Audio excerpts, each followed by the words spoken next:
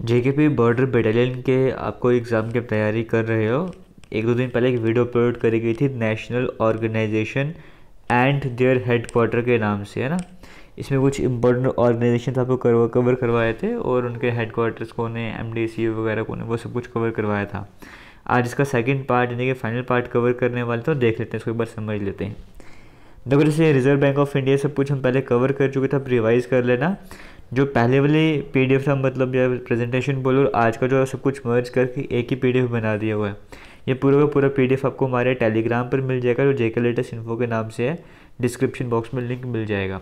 तो वहाँ पे पीडीएफ अपलोड कर देंगे रिवाइज कर सकते हो। फ़िलहाल स्टार्ट करते जो पुराने वाले आरबीआई हम देख चुके थे, नीति आयोग हम देख चुके थे।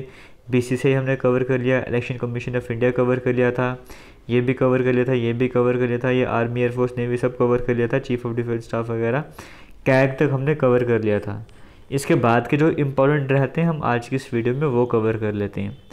जैसे सबसे पहले हम आज के इस वीडियो में बात करते हैं डी आर डी ओ सबसे पहले तो डी आर डी ओ की फुल फॉर्म आपको पता होना चाहिए।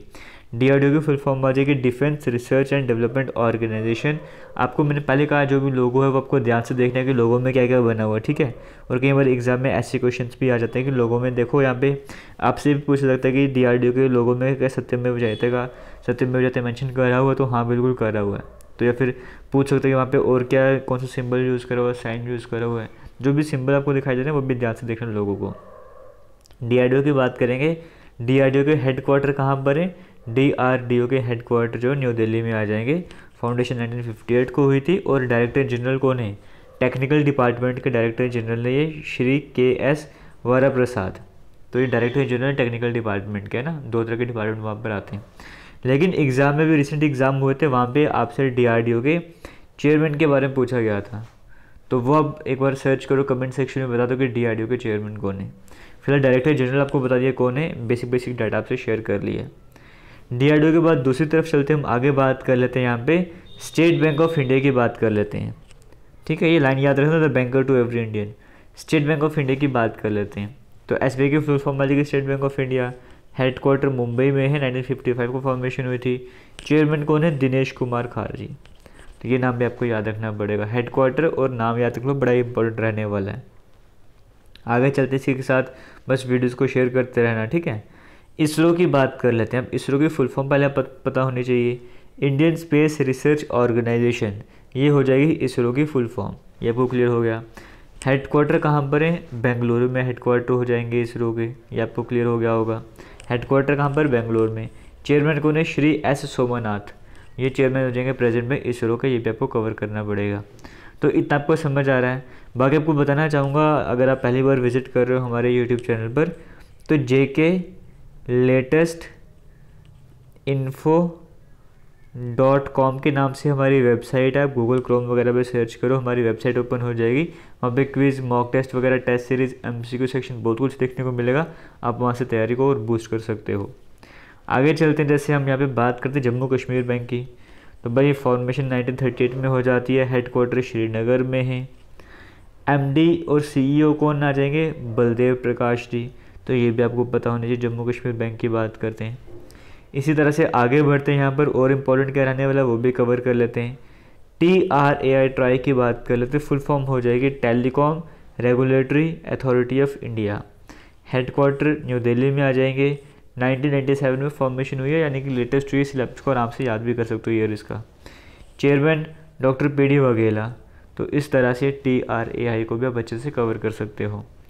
आगे चलते हैं, इसके बाद हम बात कर लेते हैं food safety and standards authority of India यानी कि F S S A I की बात करते हैं।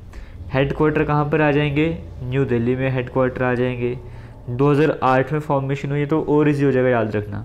लेकिन फुल फॉर्म याद रखना, पहले भाई इसकी फुल फॉर्म क्या है और एक पता ही याद रख लेना यहाँ पे। चेयरपर्सन कौन है? श्री राजेश भूषण जी। तो इस तरह से F S S A I का जो इम्पोर्टेंट डाटा आपसे वो भी शेयर कर लिया है। आगे बॉर्डर रोड ऑर्गेनाइजेशंस की बात करेंगे, यानी कि बी आर ओ की बात कर लेते हैं। हेड क्वार्टर न्यू दिल्ली में आ जाएँगे। फॉर्मेशन सेवन में 1960 को हो जाती है। डायरेक्टर जनरल कौन है? Lieutenant general Rajiv Chaudhary. तो इस तरह से बी आर ओ भी हमने कवर कर लिया। आगे चलते नेक्स्ट ऑर्गेनाइजेशन की यहाँ पर बात कर लेते हैं। वो आ जाएगा central board of film certification यानी कि सी बी एफ़ सी की यहाँ पर बात करी जा रही है। केंद्रीय फ़िल्म प्रमाण बोर्ड हेडक्वार्टर मुंबई में आ जाएँगे। 15 जनवरी 1951 को फॉर्मेशन होती है। सीईओ हैं श्री रविंद्र बाकर और चेयरपर्सन है श्री प्रसून जोशी। तो इस तरीके से हमने जो इम्पोर्टेंट ऑर्गेनाइजेशन है वो कवर करी हैं। अगर आपको लगता है कि कोई मोस्ट इम्पोर्टेंट ऑर्गेनाइजेशन है जो हम मिस कर चुके हैं, जो हम इस वीडियो में नहीं बता चुके हैं, वो काम हम आपको दे रहे हैं कमेंट सेक्शन में। ऑर्गेनाइजेशन का नाम बता दो, जो भी इम्पोर्टेंट ऑर्गेनाइजेशन है और उसके जो भी चेयरपर्सन है एम डी जो भी हैं, वो ये दो दो डाटा आपने हमसे शेयर करना है कमेंट सेक्शन में। कोई भी इम्पोर्टेंट अगर आपको लगता है कि हमने मिस कर दिया है ठीक है तो बहुत सारे मिस कर रहे हैं, लेकिन फिर भी जो आपको लगता है बहुत इंपॉर्टेंट है, ये डिस्कस करना चाहिए था तो वो कमेंट सेक्शन में बता देना।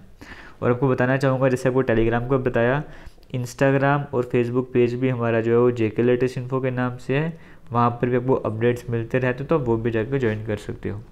फ़िलहाल करेंगे वीडियो को एंड मिलेंगे नई वीडियो में और कमेंट सेक्शन में आपको हमारे ब्लॉग चैनल का लिंक भी मिल जाएगा, ठीक है? Bye bye take care thank you जय हिंद।